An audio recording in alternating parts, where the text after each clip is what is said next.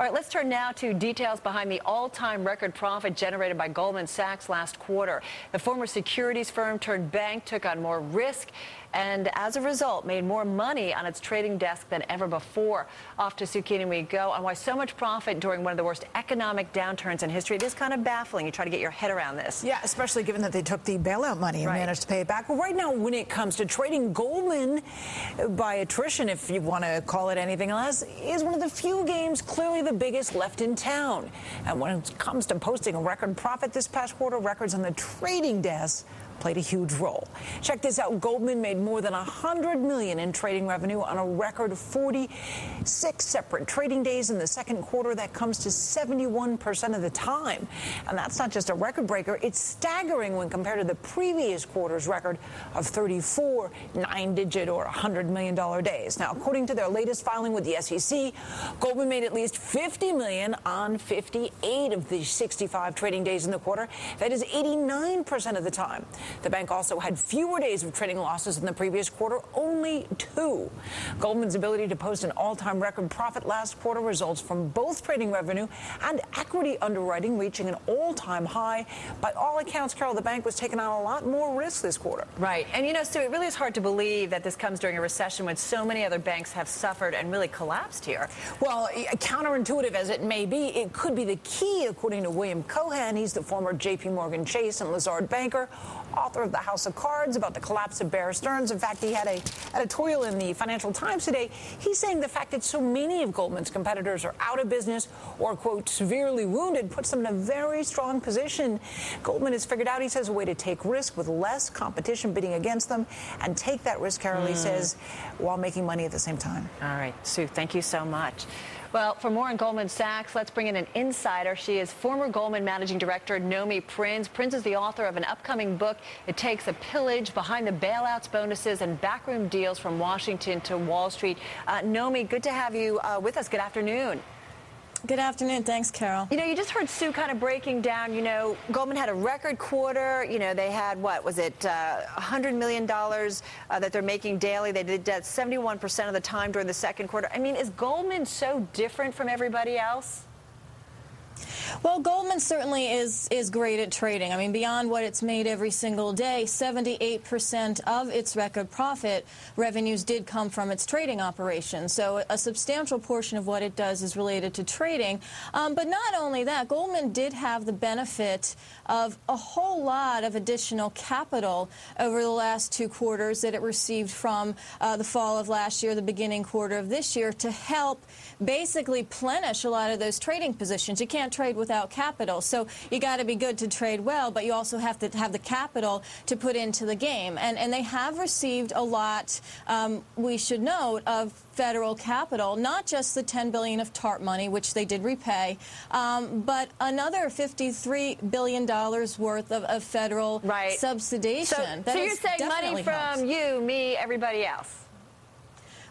That, that's absolutely true. They got almost $13 billion through uh, what the federal government gave to AIG, which went to Goldman, even though Goldman said uh, before Mm-hmm. Okay. it received that money that it was hedged against No- those positions. Nomi, hang on for a sec. We'll take a break, come back and talk some more. We're talking with Nomi Prins. The subject is Goldman Sachs. Back in a moment.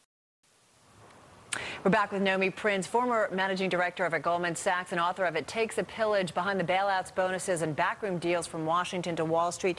Pillage, it's in the title of your, your new book. I mean, when it comes to Goldman and the record profits that they're making, uh, Nomi, is it shameful that they're making so much money or kudos to them for doing better than everybody else? Well, I think it's somewhere in between, Carol. It's, it's kudos to them to find a way to use a tremendous portion of public capital or government subsidies in order to turn it into profit. I mean, they could have easily turned it into a loss. They did. They did know how to use that capital to determine how to make a profit, and that does, uh, you know, that does take talent, and, and that does take being good at trading. But you certainly can't do that without having the capital to begin with, and, and they did, um, relative to all other investment banks or investment banks who became uh, commercial banks as they did when they became a bank holding company last fall. Right. Uh, received more public assistance than any other former investment bank. But to be fair, I mean, Goldman wasn't the only one getting handouts, you know, in several different directions from the government. I mean, they didn't do anything wrong legally. I mean, they were allowed to do this, correct?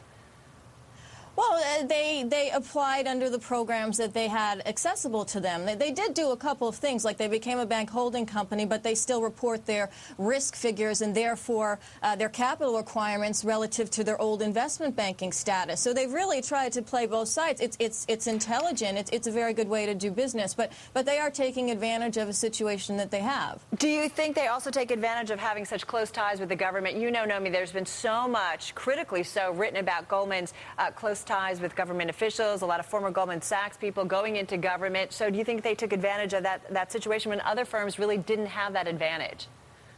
Well, absolutely. They, they, they, were at the table. They were they were in Washington uh, more than many other firms, and so therefore they definitely had that advantage. Of course, they had the former Treasury Secretary Hank Paulson was the former CEO of Goldman Sachs, who also presided over a lot of the decisions that were made when the original, not just bailout money, not just TARP money, but but the other types of federal subsidies and assistance came uh, last fall and have continued into the beginning of this year. So so absolutely, again, that makes that is an opportunist situation. It's also a situation situation of reality. They, they do have that revolving right. door covered between Washington and Wall Street. But again, do you fault them for that, or that's just the way it plays out? Or do you feel like there was kind of a, a backroom deal that was done specifically and only exclusively for Goldman because of those relationships?